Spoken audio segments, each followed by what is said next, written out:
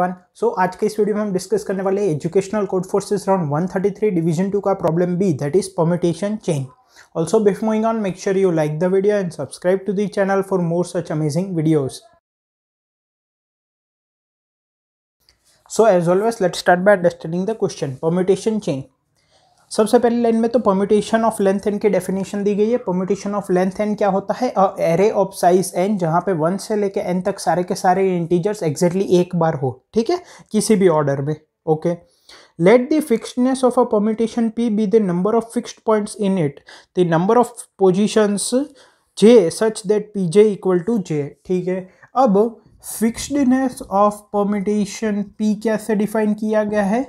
Number of positions in permutation P such that P J equal to J मतलब कि जो जेथ index पे एलिमेंट है, अगर हम वन से लेके एनथ इंडेक्स तक की बात करें तो जेथ इंडेक्स पे जो एलिमेंट है, उसकी वैल्यू जे है। तो ऐसे जितने पॉइंट्स होंगे आउट ऑफ़ एन पॉइंट्स वो फिक्सनेस हो जाएगी of permutation P you are asked to built a sequence of permutations A one A two up to dot dot dot starting from the identity permutation A one equal to one two N let's call it a permutation chain thus A I is the ith permutation of length N ठीक है? हमें क्या बोला गया है? हमें हमें बोला गया है to build a permutation chain हमें एक परम्यूटेशन चेन बनाने के लिए बोला गया है। मतलब कि क्या? Chain of permutation multiple permutation मतलब कि A one A two up to somewhere ठीक है? लेट सपोज़ ए के यहाँ पे हर एक ए वैल्यू क्या है? एक परम्यूटेशन है of size P and this is called permutation chain ठीक है? Okay sorry all of these are permutation of size N ठीक है? अब कैसे बिल्ड करना है, वो आगे दिया गया है। और और एक चीज़ जो पहला परम्यूटेशन होगा इस चेन में, वो आइडेंटिटी परम्यूटेशन है। मतलब कि one two three up to N ये वाला परम्यूटेशन ऑफ़ साइज़ एन ठीक है? For every I from two onwards A I should be obtained from A I minus one by swapping two elements in it not necessarily adjacent ठीक है? क्या बोला गया है कि ये जैसे सीक्वेंस ऑफ़ परम्यूटेशन है तो पहला तो हमें पता है अब सेकंड से लेके मान लो के परमिटेशन है तो वो कैसे ऑप्टेन करने हैं? A I should be obtained from A I minus one by swapping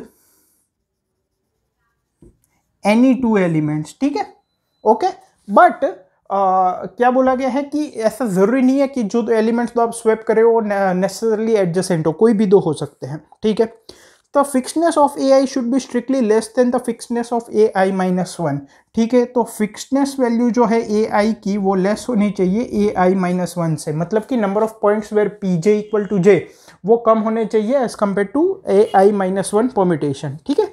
फिर एन इक्वल टू थ्री का एग्ज़ाम्पल दिया गया है। Find the length of the longest permutation chain if multiple answers exist print any ठीक है? तो अब देखो परमिटेशन जो पहला है, हम, हमें एन दिया गया है इनपुट में तो पहला परमिटेशन है, वो तो आइडेंटिटी है।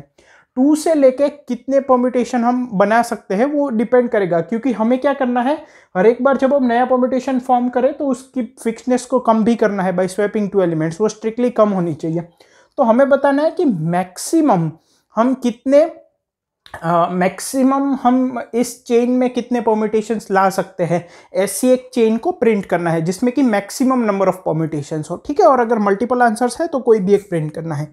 इनपुट किस तरह से? सबसे पहली लाइन में नंबर ऑफ़ टेस्ट केसेस और सभी टेस्ट केस में फ़र्स्ट लाइन में है N that is the size of the permutation output में हमें क्या देना है? आउटपुट में फ़र्स्ट लाइन में for each test case first line में हमें देना है के that is the number of permutation in this permutation chain size of permutation chain and फिर नेक्स्ट के लाइन्स में हमें हर एक परम्यूटेशन प्रिंट करना है मतलब कि A one A two up to A K ठीक है? For each test case so I hope कि क्वेश्चन क्लियर अब कंसेप्ट पे मूव करता है. सो so, अब यहाँ के अगर कंसेप्ट की बात करें तो हमें देखो हमें एन दिया गया है राइट और हमें चेन ऑफ़ परमिटेशन प्रिंट करने हैं ऑफ़ साइज़ एन और परमिटेशन ऑफ़ साइज़ एन क्या है? जिसमें कि एन एलिमेंट्स हो और वन से लेकर एन तक सारे के सारे एलिमेंट्स उसमें प्रेजेंट हो, ठीक है? तो हमें A one A two up to A K ये के नंबर ऑफ़ परमिटेशंस है, ठीक है? इस चेन में। अब पहले तो हमें के को मैक्सिमाइज करना है। अब ये कैसे होगा? देखो, यहाँ पे एक और चीज़ दी गई है, वो है फिक्सनेस वैल्यू फिक्सनेस वैल्यू क्या है कि कोई एक परमिटेशन पी है ऑफ़ साइज़ एन तो इसमें आउट ऑफ़ एन पॉइंट्स कितने ऐसे पॉइंट है जहाँ पे P J equal to J है? मतलब कि जेथ इंडेक्स पे वैल्यू भी जे है, उसको बोलेंगे fixedness for example one two three four five इसमें फिक्सनेस वैल्यू क्या हो गई? फाइव लेकिन one two three five four इसमें फिक्सनेस वैल्यू क्या हो गई? थ्री क्योंकि वन टू और थ्री तो P J equal to J follow करते हैं, लेकिन ये दोनों नहीं करते. हमें एक और चीज़ क्या दी गई है? देखो ए वन तो हमें दिया गया है कि ये आइडेंटिटी परमिटेशन है one two three up to N ठीक है? एज इट इज़ अब ए आई को हमें ए आई माइनस वन में से प्रोड्यूस करना है। कंडीशन क्या है कि कोई भी दो एलिमेंट्स हम स्वैप कर सकते हैं, कोई भी दो। और ए आई की जो फिक्सनेस वैल्यू है, वो स्ट्रिक्टली लेस होनी चाहिए ए आई माइनस वन से। तो एक बात समझो, जैसे जैसे हम स्ट्रिक्टनेस वैल्यू कम करते जाएँगे, वैसे वैसे एक पॉइंट आएगा जहाँ पे फिक्सनेस वैल्यू ज़ीरो हो जाएगी। एक भी element P J equal to J follow नहीं करेगा। तो उसके बाद उसके बाद नया परमिटेशन हम नहीं बना सकते, क्योंकि ज़ीरो से कम फिक्सनेस वैल्यू नहीं हो सकते, ठीक है? ज़ीरो मतलब क्या कि एक भी पॉइंट ऐसा नहीं है जहाँ पे P J equal to J है ओके तो अगर हमें लॉन्गेस्ट चेन बनानी है तो जितनी कम स्ट्रिक्टनेस सॉरी अगर हमें लॉन्गेस्ट चेन बनानी है तो फिक्सनेस वैल्यू स्ट्रिक्टली कम तो करनी ही पड़ेगी। तो जितनी धीरे धीरे कम होगी, उतनी लंबी चेन बनेगी। फॉर एग्ज़ाम्पल अगर आपके पास फाइव कॉइन्स है, ठीक है?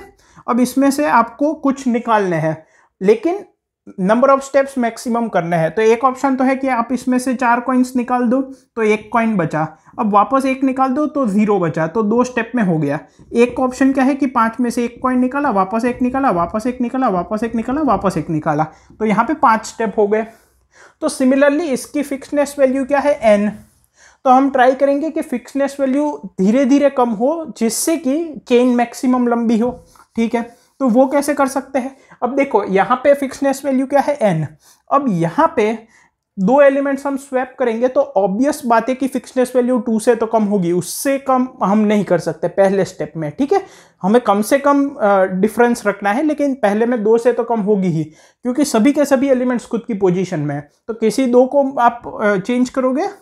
For example two one three up to N तो थ्री से लेकर एन तक तो खुद खुद की पोजिशन में है, लेकिन ये दोनों चेंज हो गए। तो इसकी फिक्सनेस वैल्यू थी एन इसकी फिक्सनेस वैल्यू हो गई एन माइनस टू। अब अब एक चीज़ समझो आप, यहाँ पे, अब हम क्या कर सकते हैं, क्योंकि हम चाहते हैं कि फिक्सनेस वैल्यू धीरे से धीरे कम हो, ताकि चेन लंबी से लंबी हो। तो अब ये सारे के सारे अपनी पोजीशन में हैं थ्री से लेके एन तक। अब आप थ्री और फोर को वापस डिस्टर्ब करोगे मतलब कि स्वैप करोगे तो वापस फिक्सनेस वैल्यू दो से कम होगी। उससे बेटर है थ्री और वन को स्वैप करो क्योंकि वन तो already P J equal to J वाली कंडीशन फॉलो नहीं कर रहा है तो वो फिक्सनेस वैल्यू कम करने में कंट्रीब्यूट नहीं करेगा। तो थ्री और वन को हम एक्सचेंज करेंगे तो फिक्सनेस वैल्यू एक से ही कम होगी। मतलब कि ए थ्री क्या आएगा? Two one sorry two three one four up to N और इसकी फिक्सनेस वैल्यू कितनी हो गई? एन माइनस थ्री ठीक है? क्योंकि टू थ्री और वन अपनी पोजीशन में नहीं है। अब अगेन, एक ऐसा एलिमेंट सिलेक्ट करो जो जो कि फिक्स्ड पोजीशन पे हो मतलब कि P J equal to J हो, और एक ऐसा सिलेक्ट करो जो कि P J equal to J ना फॉलो करता हो, ताकि फिक्सनेस वैल्यू एक से ही कम हो, ताकि चेन लंबी रहे। तो हम क्या कर सकते हैं? Easiest way standard way four और वन को एक्सचेंज करो तो fixedness value N minus four हो जाएगी। फिर फाइव और वन को एक्सचेंज करो fixedness value N minus five हो जाएगी। ऐसा करते करते एंड में एन और वन को एक्सचेंज कर लेना स्वेप कर देना तो वन एकदम एंड में चला जाएगा और फिक्सनेस वैल्यू हो जाएगी ज़ीरो तो इसकी लेंथ कितनी हुई? ज़ीरो से लेके fixness value n minus two तक जा रही है। मतलब कि एन माइनस वन परमिटेशंस देखो वन से लेके N minus two plus zero fixedness value वाला मतलब कि एन माइनस वन परमिटेशंस और एक इनिशियल था वो। मतलब कि हमें आउटपुट में क्या प्रिंट करना पड़ेगा? सबसे पहले तो साइज़ ऑफ़ परमिटेशन चेन है एन ठीक है? फिर फ़र्स्ट में मैं ये परमिटेशन प्रिंट कर दूँगा। And then I equal to two से लेके एन तक मैं क्या करूँगा? आई इक्वल टू टू से लेके एन तक मैं क्या करूँगा? वन को और उसके नेक्स्ट एलिमेंट को स्वैप कर दूँगा। ठीक है, जैसे कि यहाँ पे वन और टू को किया, फिर वन और थ्री को, फिर वन और फोर को एंड सो ऑन ठीक है? और जो भी नया परमिटेशन बनता है, उसको मैं प्रिंट कर दूँगा। सिंपल है, दो फोर लूप लगाने हैं। टाइम कॉम्प्लेक्सिटी क्या हो जाएगी? Big O of number of test cases into N square जो कि गिवन टाइम लिमिट में इजीली हो जाएगा, ठीक है? आई होप आपको क्वेश्चन कंसेप्ट इंप्लीमेंटेशन तीनों क्लियर है। अगर आप ये क्वेश्चन सॉल्व करोगे इस तरह के तो डेफिनेटली आपको प्लेसमेंट में हेल्प मिलेगी राइट एक और चीज़ जिससे आपको काफ़ी हेल्प मिल सकती है, वो है न्यूटन स्कूल का full stack development course After getting enrolled at Newton School, you can become a rockstar developer and can get placed anywhere between 5 LP up to 40 LPA. The students of Newton School are already working at top companies in India like Unacademy, Deloitte, Zomato, etc. Right? Also, best part यहाँ पे ये है कि यहाँ पे पे after placement programme है which means that जब तक आपको फाइव एल या उससे ज़्यादा का प्लेसमेंट नहीं मिल जाता तब तक आपको कोई भी फ़ीस पे नहीं करनी है so make sure you register yourself at the link which is given there in the description Thank you.